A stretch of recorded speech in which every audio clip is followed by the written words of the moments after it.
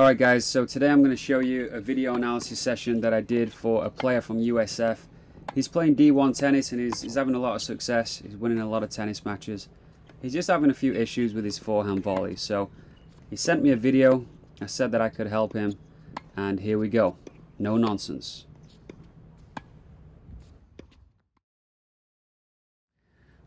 Alright, so a couple of things I noticed, Fook, is that one, you got an Eastern forehand grip, which is not necessarily bad. Someone like Nadal volleys with that. I prefer to be a bit more continental.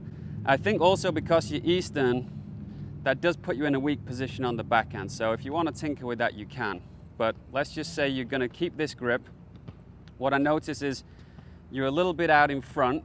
So you're reaching forward. Sometimes your right shoulder gets in front of your left, which you probably want to try and keep your right behind your left.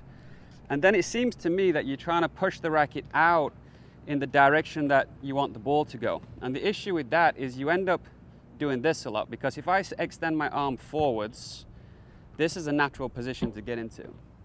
So it looks like you're trying to serve me a beer every time you finish this forehand follow through because that's kind of the natural position that the arm and the racket are going to get into. What I suggest doing, and I do this with a lot of people, is try and hit the forehand volley with the right shoulder behind the left, and then come back to your ready position. So not, don't kind of flip it around like this. It might trail a little bit because you're putting a little slice on it, but see if you can come back around to your ready position instead of thinking about the volley being a forwards shot. This is really making use a lot of wrist. You might do this if, say my opponent's over there in the corner and I want to get there early and I want to take it up the line. Maybe you start doing this to, to get it there, but that's not an ideal shot. So contact point a little closer, a little further back, and make the volley around with a slight open face instead of this way. All right, it looks like you're pushing the handle when really we need to be striking it with the strings. Give me a few easy ones, make me look good. I'll try and use your grip. Back around to your ready position. Forehand volleys, guy. There we go. So a little bit of slice, and finishing almost back in your ready position. The racket's trailing a little bit,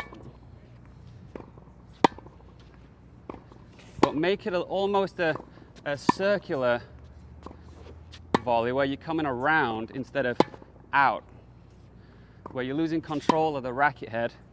So instead of reaching out towards my where I want the ball to go, just bring it around. And even if you spray it a little bit right to left, that's not a problem. Just bring it around, back round to your ready position. Strings open, right shoulder behind the left. So you don't look like you got this fruity wrist.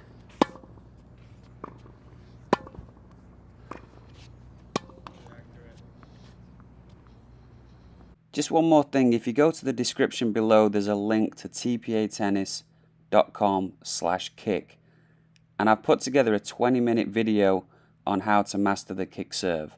So go check that out, it's free, and I think it'll really improve your serve.